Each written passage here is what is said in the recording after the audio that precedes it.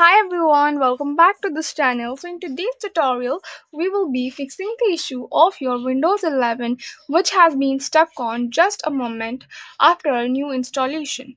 So without wasting any time, let's move on. Fix 1 is you need to wait. Wait for 15 to 30 minutes.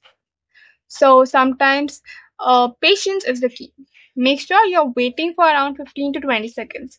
Even if the problem persists, let's move on to the next fix. The next fix is if you have connected uh, your internet through Ethernet cable, disconnect your Ethernet cable and then try restarting it. So press on your power button and try restarting your PC the next fix is so disconnect your unnecessary or even external devices like your mouse hdmi cables usb drives and even your ac adapter and leave it for a few minutes and then try restarting the pc even if the problem persists let's move on to the next fix. The next fix is you need to boot a pc into the safe mode. For that you need to make sure you have the reset button so if the reset button is too small you can use a, a pa- paper clip or a pin and then press on the reset button or the Novo button specifically called on your Lenovo laptop.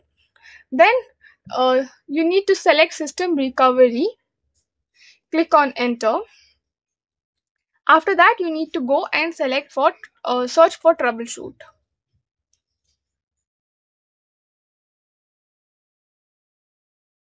So from here search trouble uh, click on troubleshoot then go to advanced options. Go to startup settings and now click on enter. So this will enable or restart your pc into the safe mode. The next fix is you need to run an automatic repair.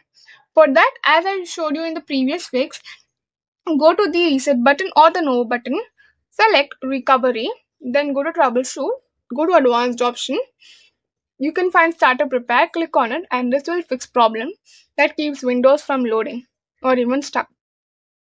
So that's it for the video. Thank you for watching. Don't forget to like, share, comment, and also to subscribe to this channel.